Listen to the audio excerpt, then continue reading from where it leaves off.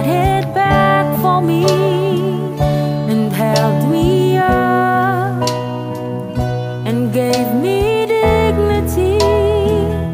Somehow you needed me, you gave me.